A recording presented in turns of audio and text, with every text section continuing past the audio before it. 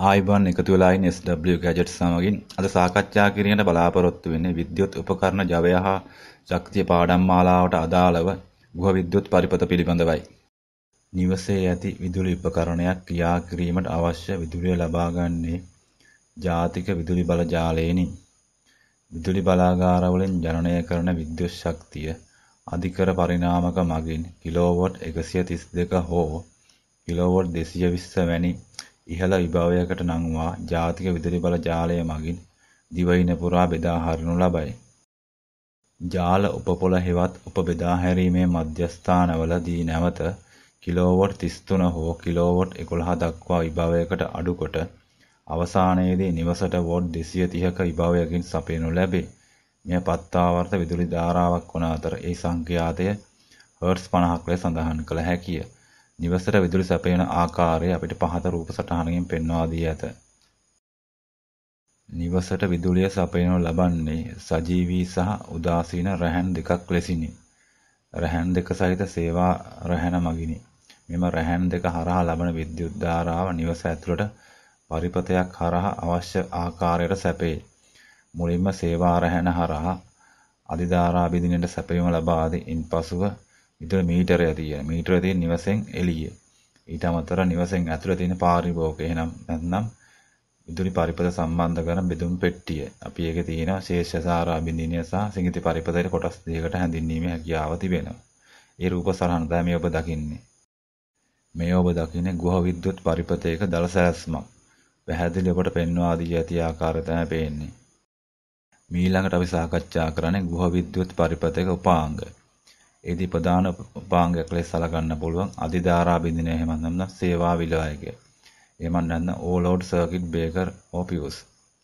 නිවසට සැපෙන විදුලිය පළමුව සජීවී රැහැන්ට සවිකොට ඇති අධිධාරා පරිපථ බිඳිනය හරහා මේ ඇම්පියර් 40ක් ලෙස උපරිම ධාරාවක් ගලා යා හැකි ලෙස සකස් කොට ඇත. ඇම්පියර් 40 වඩා වැඩි විශාල ධාරාවක් ගලා ගිය විට විදුලි පරිපථ බිඳිනය මගින් ධාරා විසන්ධි කරයි. මෙහි ලීවරය ඉහළට දැමීම මගින් නැවතත් විදුලිය සන්ධි කළ හැකිය.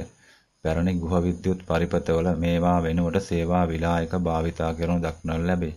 මෙහි ඇති ඊයම් හා ටින් මිශ්‍රිත ලෝහයකින් තනා ඇති අතර සිහින් කම්බියක් නියමිත ධාරාවට වඩා වැඩි ධාරාවක් ගලා ගිය විට රත් වී විජලනය වී යයි. පරිපථයේ සම්බන්ධතාවය විසන්ධි වේ. මෙම විලායක පිවස් පිඟන් මැටි හා අල්ලුවක් හෝ පිඟන් මැටි නලයක් තුළ සවි කර ඇත. විදුලි මීටරය නිවසට සැපයන විදුලිය පාරිභෝජන ප්‍රමාණයට අනුව පාරිභෝගිකයාගෙන් මුදල් අය කරනු ලැබේ. භාවිතා වන විද්‍යුත් ශක්ති ප්‍රමාණය කිලෝවොට් පැය වලින් මීටරයේ සටහන් වේ. අධිධාරා බිඳිනය හෝ සේවා විලායකය හරහා පැමිණෙන සජීවී රැහැනත් උදාසීන රැහැනත් මීළඟට සම්බන්ධ වන වේ විදුලි මීටරයටයි. මීටරයෙන් පිටත පැමිණෙන සජීවී රැහැන් හා උදාසීන රැහැන ඊළඟට සම්බන්ධ කර ඇත්තේ වෙන්කරයටයි. විදුලි මීටරයේ රූප සටහනක් පහතින් මම ඉදිරිපත් කර ඇත. මීළඟට අපි සාකච්ඡා කරා වෙන්කර එහෙම නැත්නම් අයිසොලේටරය. එහෙම නැත්නම් ප්‍රධාන විලායක. එහෙම නැත්නම් ප්‍රධාන ස්විච් එක අපි කියන මේන් ස්විච් එක කියලා කියනවා.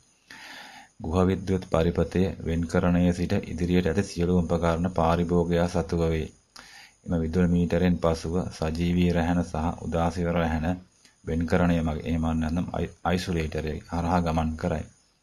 වෙන්කරය ඇම්පියර් 30ක් හෝ වැඩි ධාරා බිඳිනයකින් ක්‍රියා කළ හැකි අතර ඕනෑම අවස්ථාවකදී ඩ්‍රීඩව ස්විච් එක ලීවරය පහළ දැමීමෙන් මගින් නිවසට සැපෙන විදුලි රැහන් හා සම්බන්ධ සජීවී සහ උදාසීන රැහන සම්බන්ධතාවය කපා හරියි. පැරණි ගෘහ විදුලි පරිපථවල මේ වෙනුවට ඇම්පියර් 30ක විලායකයක් හා G-ඩැව ස්විච් එකක් සැදුම්ලත් ප්‍රධාන ස්විච් එකක් මේන ස්විච් එකක් භාවිතා කරනු ලැබේ. වෙන්කරණය මගින් සජීවී සහ උදාසීන රැහැන යන දෙකම විසන්ධි කළ හැක. නිවස තුළ යම් අලුත් වැඩියාව කටයුත්තක් සඳහා විදුලිය විසන්ධි කිරීමට වෙන්කරණය මගින් සිදු කළ හැකිය. ගිනි ගැනීම වැනි හදිසි වතුරකදී විදුලිය විසන්ධි කරනු ලබන්නේ වෙන්කරණය මගින්. වෙන්කරණයේ බාහිර පෙනුම සහ දලස් රූප සටහනක් මම පහතින් ඉදිරිපත් කර ඇත. මීළඟට අප සාකච්ඡා කිරීමට බලාපොරොත්තු වෙන ශේෂ ධාරා පරිපත විදිනය. එහෙනම් එවන් නැත්නම් රෙසියුවල් කරන සර්කිට් බ්‍රේකර්. එහෙම නැත්නම් RCCB කියලා අපි සඳහන් කරනවා. එහෙම නැත්නම් ට්‍රිප් ස්විච් කියලා අපි සඳහන් කරනවා. වෙන්කරණයෙන් පසු සජීවී සහ උදාසීන රැහැන ශේෂධාරා පරිපත බිඳිනයට එවත් පැන්නුම් ස්විච් එහෙම නැත්නම් ට්‍රිප් ස්විච් එකට සම්බන්ධ කරනු ලැබේ.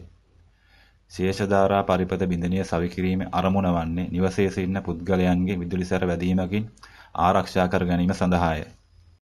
විදුලි උපකරණයක බාහිර ලෝහ ආවරණයකට හෝ පොළවට විදුලි කාන්ද වීමක් හෝ අධිධාරාවක් ගැලීම නිසා ඇතිවන අවස්ථාවලදී ශේෂ ධාරා පරිපත බිඳිනිය මගින් ස්වයංක්‍රීයව පරිපතයක විසන්ධි කරනු ලැබේ.